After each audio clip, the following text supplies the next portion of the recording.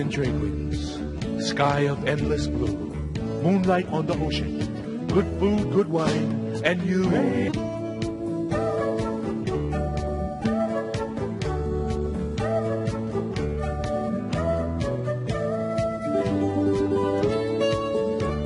Aloha, and welcome to Great Chefs of Hawaii. Come join us for a taste of paradise as the island's finest chefs explore Pacific Rim cuisine.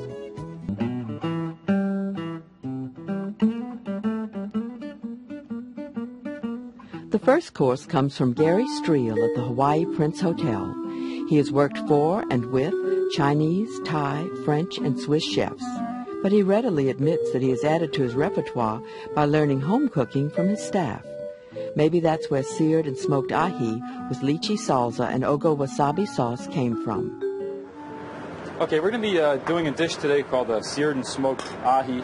Uh, ahi is right here is a half of a quarter piece, uh, which comes from a fish of about 60 to 80 pounds. It's a yellowfin tuna uh, from local waters here in Hawaii. We're going to make one slice with the grain.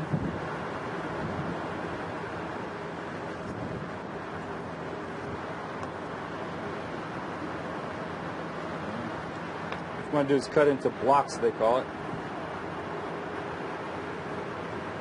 Let's use one piece for now.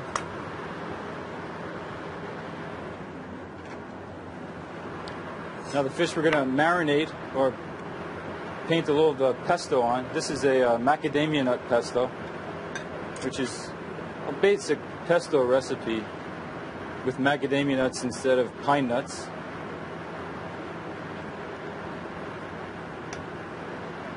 You want to put a healthy portion on there. You can use your hands, paint it on there well. This is a number one grade, which means it has beautiful color and it has some nice fat texture to it also. These are apple wood. We also use uh, mesquite, or uh, in Hawaii, uh, kiawe wood works very well for the smoking. Okay. We've drizzled a little bit of water on the chips. Very low heat. And we're going to set the fish. I've coated that a little bit with uh, olive oil. Okay. Unless you have an unusual kitchen, do the smoking outside. Now, while that's smoking, I'm just going to cover that with a little half pan. You don't want to have an intense heat to it because you don't want to cook it. We're going to make our relish now, which is going to accompany the dish. This is a lychee relish. Uh, fresh lychee or on the mainland also canned lychee works very well.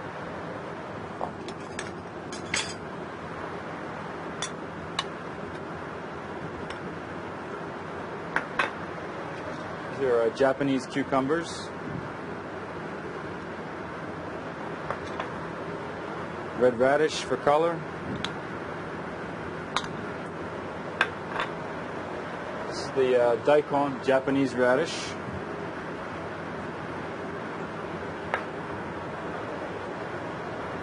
Some jicama. Okay. Sweet Maui onion.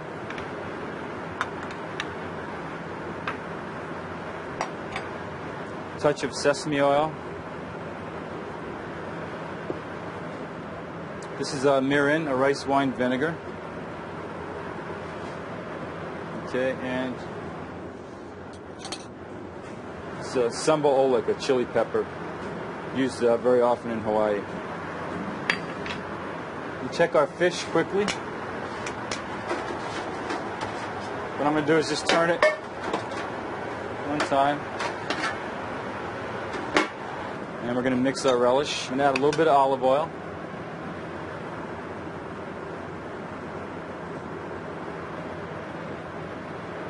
Okay.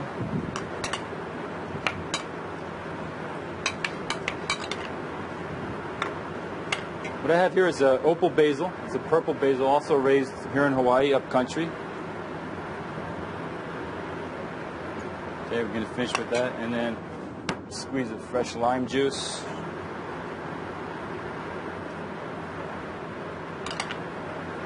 One of the garnishing sauces includes ogo seaweed and wasabi. Of course, we start off with wasabi, Japanese-style horseradish, some yellow mustard, the chopped fresh ogo. This is from Hawaii, from the North Shore of Oahu. A little bit of uh, cilantro. You can use basil. Uh, mint works well in there. Okay, this get your paste. I'm gonna add a little bit of shoyu.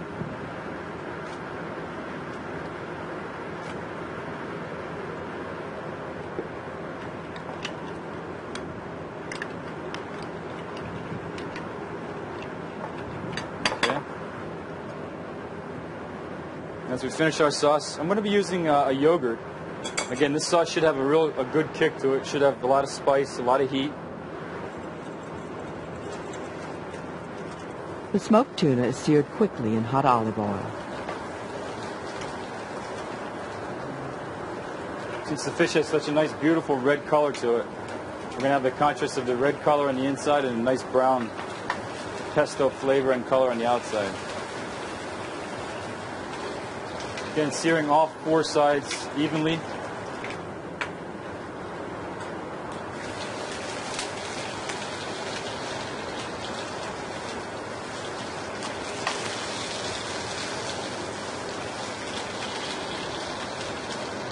Going to do with the fish is roll it into the cellophane so that it's easier to slice.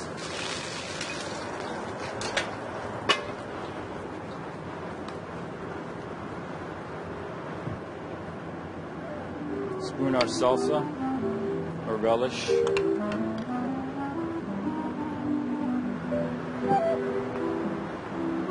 Again, a nice sharp sashimi knife works very well. Again, the cellophane is important because the cooked fish is going to tear if you try to slice it without.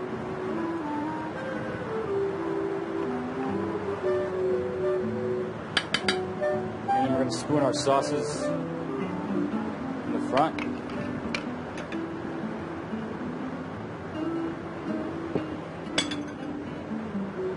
This is our pesto, again, our macadamia pesto.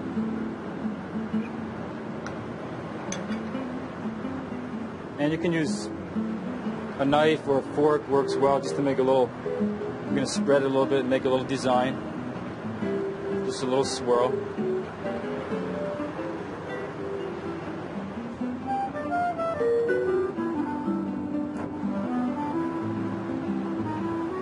Purple basil.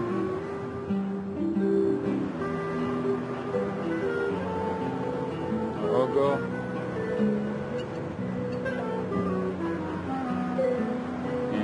Twist.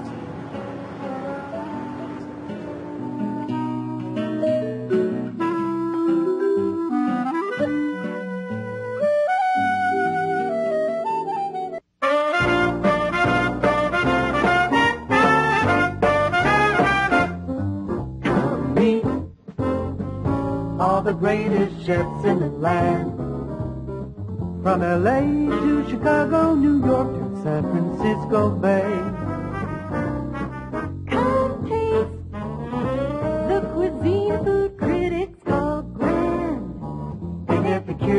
Adventure's about to come your way. Great chefs, great city, great food, lovingly prepared by the best great chefs. With their magic before your eyes. Great chefs, great city, it's a feast from east, north,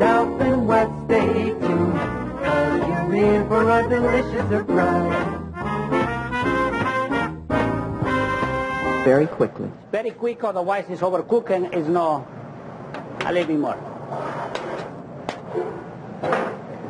That is a trim, well, rack of lamb, bone out totally, all the all the fat out, all the bone out, just to leave the the um, little racks bone for a, for a presentation and to hold it in the plate.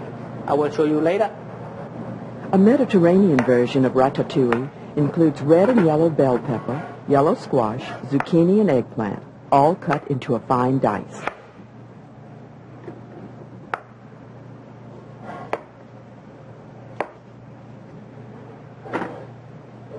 Then, of course, in a very lean dice, what we call brunoise, it's a, a, tiny ratatouille, very fine one, because of the, the after cook it, it will be very small.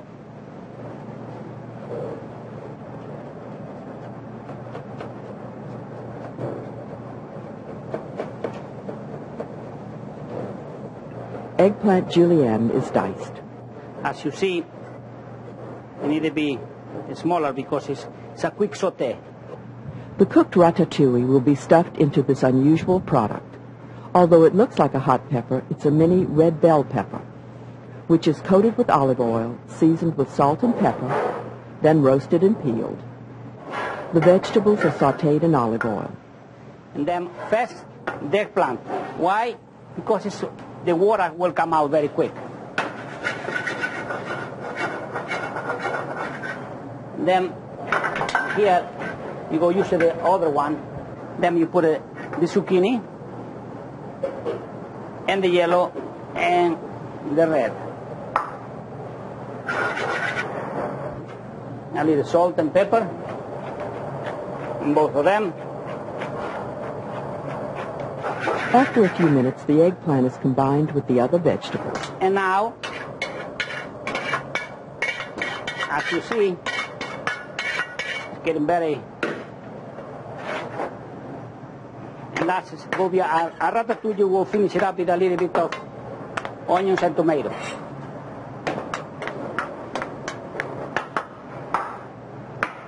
The lamb rack is seasoned. The reason we put a little string on is because we want to make it a little round, perfectly round. First the thing you put it straight like this to serve all around, and then we go finish in the oven. The couscous has been drained and will be flavored with diced parboiled fennel. And then, of course, you do also a little squares. This you cook, cook it in a, a boiling water with a little salt, of course, and until it's, it's really cooked. Then you cook, uh, slice it up like this. Okay, that's the couscous. Now the couscous, we mix it with the, the fennel.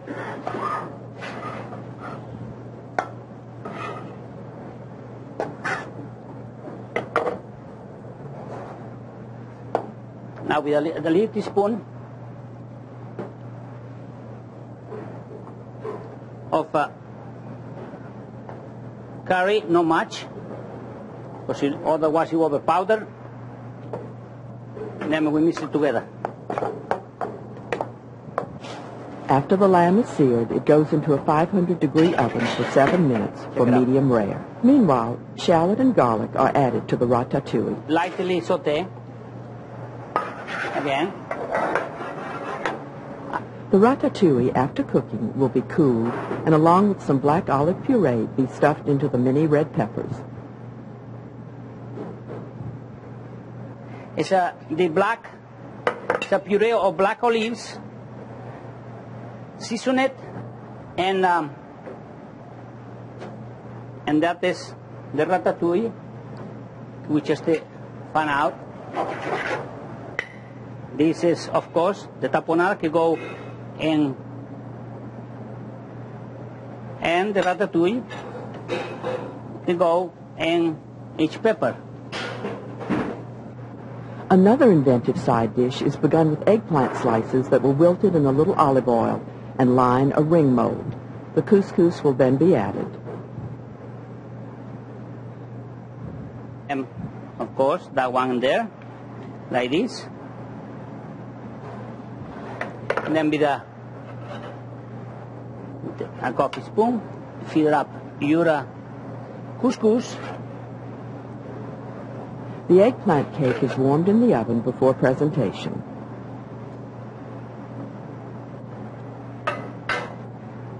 like this, like that. You need balance on the rosemary and the carrot juice. The sauce is a combination of lamb stock and carrot juice. The easiest way to obtain carrot juice is to find a juice bar.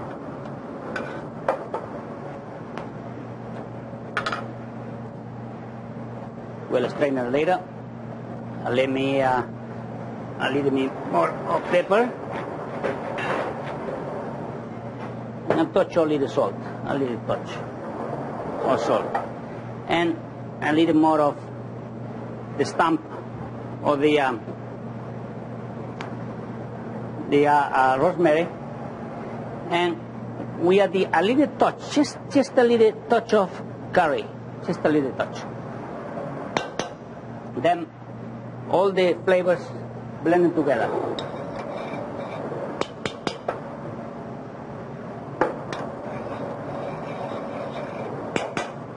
Now, argato or couscous should be down.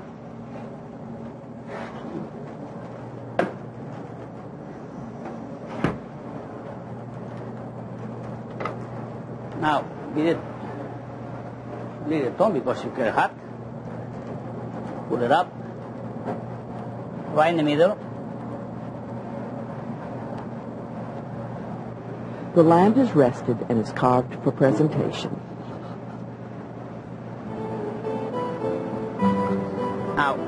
Have it one, and two, and three. And You put it up.